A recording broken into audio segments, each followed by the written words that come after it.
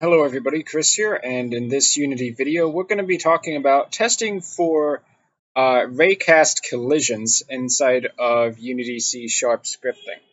So if you don't know what a raycast is, it's where you take a point somewhere in your scene, and that can be a 2D point or a 3D point. Basically, uh, if it's 2D, you just ignore the Z, uh, and you would use physics 2D rather than the physics library. But you, anyway, you take a point and you give it a direction. So, for instance, it could be right in front of our character here, and it would be in the direction to the right. That would be one, uh, one for x and zero for y in terms of vector values. So it would be um, starting at this point, and you go in this direction um, for a certain length, which would basically be the distance. And if it comes into contact with anything that has a collider, uh, note the different uh, the uh, connection between colliders and collisions.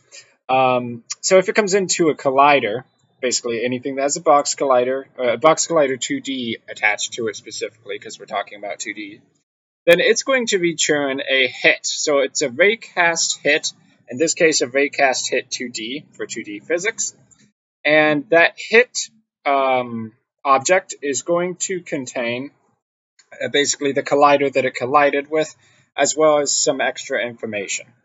So uh, let's see, the rat swarm over here, I went ahead and added a box collider to it so that in this scene, it, these raycasts that we're going to be creating can actually um, collide with these. Now, if you think like a raycast, you could really think of it like shooting a laser beam. And if you were to create a laser beam gun, uh, Raycast would be a great way to see if it actually collides with something or if it doesn't. Um, if you're not going to have an actual physical uh, game object that's basically a sprite projectile, for instance. So you're thinking of it like a raycast. I mean, a an alien space gun, and it shoots a ray out. And if it hits something, something's going to happen to that. You don't have to do something with it, uh, but it will definitely let you know if something does hit that. Okay, so I hope that made some sense. Let's go ahead and hit play, and I'll, I'll show you kind of what my script does, and maybe that'll clear things up a little bit. So we have the previous scene with the falling, spawning rats on the left, and the animated rat that's just sitting there on the right. Um, the fire button in Unity, uh, Fire 1 defaults to control, and that's what I set the script up to uh, to use as creating a raycast. So when I hit control, it's going to shoot a raycast out in the direction that the character is facing. So if I shoot to the left, it doesn't hit anything. But if I shoot to the left at the uh, moment in time when that rat enemy falls, it collides because this raycast goes straight to the left, and if it's there at the time, it gives you that uh, return that it actually hit the collidable object. And then you can do things with it like delete the object, deal damage to the object, whatever you're looking for. So we also have this guy over here to the right. If I hit control, um, should always hit it. Okay, it didn't read my input there for some reason. Uh, but yeah, you can see it colliding with Rat Swarm Zero. So that's great. Uh, that's basically what we want. Um, it's also possible to show raycasts through debug.drawRay. Um, and then I think you have to like uh, set a debug point or something like that in order to actually see it in the scene view. But it, it is possible to see the uh, the rays in the scene while you're debugging. Um, now you'll you'll know, of course, that these rays are invisible because we're just trying to calculate if something's in the way between this vector point and this vector um, out a certain distance. That's all we're doing. Uh, the laser beams, the graphics, that's all extra stuff you have to add in on top of that. And you can use these values in um, basically playing around with that later. But for now, let's just jump into the script. So back in player controller, and uh, at a certain point, it might make sense to split some of this stuff up into multiple files so that player controller doesn't get too out of hand. Um, but we've added a couple more things here. So uh, first off, origin offset. Um, so a, raycast starts from basically the center of your game object by default, and a raycast can collide with the uh, the game object that it's basically creating the raycast from in a sense. It doesn't really create the ray from the game object, but you can use the game object's position for the starting point of the raycast. Anyway, if that game object has a box collider on it, then what will likely happen without any kind of offset or a layer mask is that the ray will collide with your game object first. So it would say like, Raycast has hit uh, Jeffrey the Dude, or whatever your player controller is. So note that there's a few ways to get around that. Um, the one I'm doing right here is having an origin offset. So whichever direction it's facing, it, the Raycast will start 0.5 units offset from the center point of that character. Uh, there's actually a better way to do that, I, would say, and that's layer masks, where uh, you set up a layer mask, and it can only the raycast can only collide with characters on that layer. So you might have an enemies layer, and that would be perfect. Okay, uh, let's go down here. So new method, check raycast. Uh, pretty straightforward. It raycasts out from the player, roughly, uh, the position of the player, really, and returns the target's hit. So it's got a base direction, and uh, then you apply the offset. If the direction is to the right, basically positive x value, then the offset will also be positive. Otherwise, you take the offset and you make it negative so that um, you're basically putting it to the left of the player rather than to the right again. And uh, let's see. So the starting position, basically a, a calculation combining those two vectors. Uh, I do have a debug draw ray there, and uh, maybe if we debug here in a second, we'll be able to get the rays to draw. And what happens finally is that it returns a raycast hit 2D, and that's what the raycast method uh, returns, a raycast hit 2D.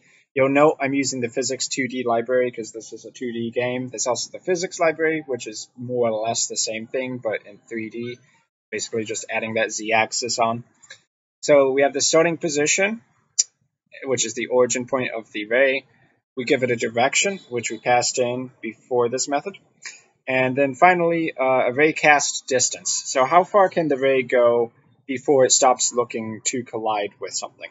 Um, that's not required. I'm not actually sure how far a ray goes with it when you don't specify it. Um, and then you could add one more thing, which would be a layer mask. So if we go here, uh, the layer mask is basically just an int representation of your layers in the game. So if we go to project settings, layers, as we looked a bit in the previous video, if you want to target only objects that are on layer 9, then basically what you need to go here is going to be an int value of 9. Now, probably better to set a constant variable um, both for naming purposes and so that no matter where you do the raycast, it's always going to be using that layer. Um, but yeah, that, if you wanted to do the layer mask alternative, that would be what you're looking for. So uh, where's this method actually being called? Well, inside of raycast check update, you'll notice I moved all of the fixed update stuff before the movement and the animation into one method down here because uh, we don't want that method to grow out of control. So let's see here, raycast check update. So on update, it's going to check to see if it should do a raycast. If it does do a raycast, it returns true. Otherwise, it returns false. Um, now, the direction by default is going to be 1. That means straight to the right inside of uh, 2D coordinates. And that will be set to negative if, uh, basically, this might not be the best way to check it, but I was getting the float value out of the animator uh, because that determines what direction the character is facing. So that kind of determines what direction the character should be shooting from. Might not be the ideal way to get that value, but that's one way to do it. Uh, so anyway, if it's if the character's facing left, it reverses the direction. Simple enough, right? Um, and then it goes ahead and does the check raycast. You get the hit, if it collided with anything, basically if the hit.collider is not null, then it logs that to the console. Great. And then uh, what you could do after that is um, do things like apply damage to the collider or something like that. Uh, so in my game Heart Battle, what I did was uh, I would actually make anything that it was going to collide with that should take damage. Um, I made it implement a interface. I called it iDamageable, and that just meant that anything that is iDamageable has a method for applying damage.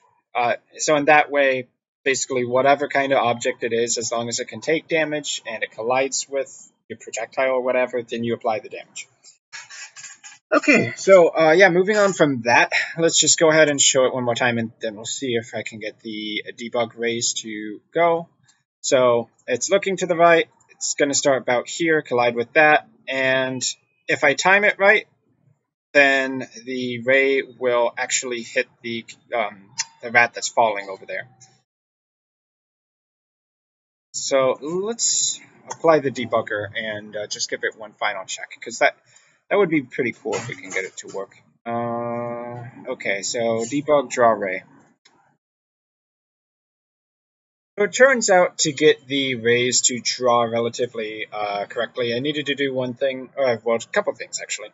Uh, first, the second variable should be the location where the ray ends. So in this case, it was hit dot point taken out of the ray cast hit. Uh, I think before I had the direction of the raycast, but it's actually looking for world uh, coordinates position. And then uh, I added a fourth parameter, which was the uh, the duration over here. So it's set to three seconds so that we can see it in the scene view for at least three seconds after it's done. And uh, yeah, that's pretty much it there. So I'll go ahead and show you uh, how a debugged raycast looks like. So I'll hit um, basically control, and it will, well, I can take that out right now because that's actually inaccurate. But it hits the collidable object, and then we go into the scene view, and you can see the raycast. Uh, now note that I didn't actually uh, offset the raycast center point um, from the character like the real raycast is doing.